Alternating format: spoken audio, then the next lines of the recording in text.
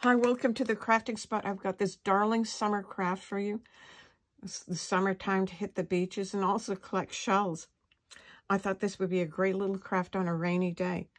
What you need is a shadow box, and I've got this. And a shadow box, I'll tilt it up. You'll notice it's much deeper than a normal frame. And um, you can pick them up at any craft store and also on Amazon. So let's get started. This is the backing for the um, um, shadow box, and I've taken it apart from the frame. And there's a hanger on the back, so I made sure that it's going up uh, on my uh, cutting mat. Then I took a compass. This is time you raid your kids' old uh, geometry stats, sets. And I set it to three inches. So it's the distance between this and this is three inches. Then I measured the, um, this is an eight by eight, and I measured and I put a slight pencil mark at the four inches, and there's a center to make sure that I uh, hit the center.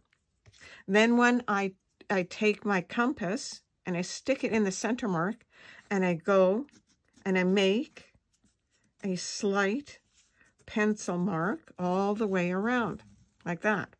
Once you've got that done, then you select the shells. Now you want shells that are a bit on the flat side. This might be a bit too big. Uh, you want to keep it like uh, um, under an inch, and um, the flatter the better, and the smaller, um, because you don't want it actually touching the glass. So that might be a bit large. So what you need to do, and I, I, what I do is I put the shell at this 12, a 9, I mean the 6, 12, and 3, like on a clock. And then I fill it in along the center line. And I just keep going and I add shells. And I also you want to add a variety of shell sizes. So, and turn the um, inside out and upside down.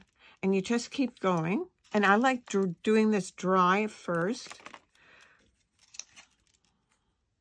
to make sure I've got enough, A, enough shells to cover.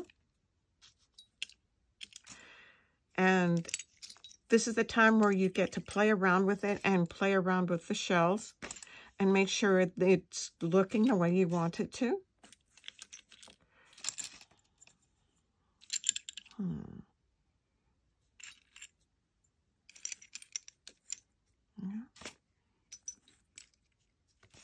All right, so once you got that done, and it looks good, and obviously play around with the arrangement, it's time to get out your friendly hot glue gun. And once you um, glue everything down, it's going to look like that. Isn't that great? And then you put it back together into the frame, there you go. A wonderful rainy day summer craft. Well, thanks so much for joining me today. Remember, hit like and subscribe, and see you again soon.